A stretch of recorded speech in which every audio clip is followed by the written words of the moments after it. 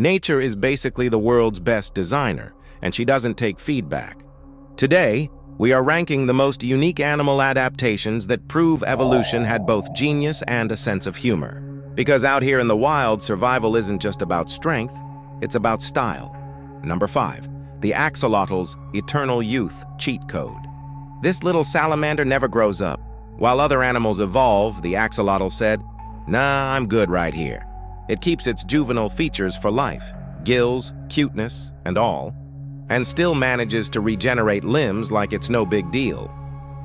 On number four, the tardigrade's I refuse to die setting. This microscopic creature can survive space, volcanoes, radiation, and probably your group chat drama. When things get rough, it just dehydrates itself, curls up, and waits out the apocalypse like a tiny Zen master. If self-care was a species, it would be this one. At number three, the mantis shrimp's supervision. While we see a basic rainbow, the mantis shrimp sees ultraviolet, polarized, and colors that don't even have names. Its punch is so fast it literally boils water, meaning this creature both sees and throws hands on another level. Basically, it's the Beyonce of the reef.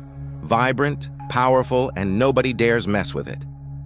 But number two, the Arctic fox's fashion-forward coat.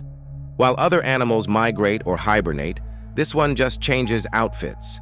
Its fur turns from brown to white to perfectly match the seasons. Runway-ready survival. It's giving sustainability meets sleigh.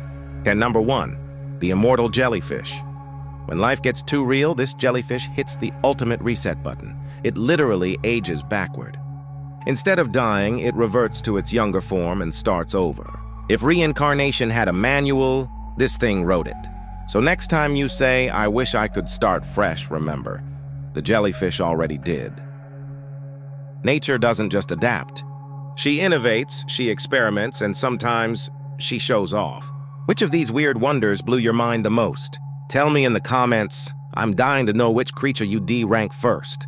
And if you love discovering the wildest side of life, don't forget to like this video, subscribe to my channel Oddly Specific Rankings, and hit the bell, because next week we're ranking something even stranger. Until then, stay curious and stay oddly specific.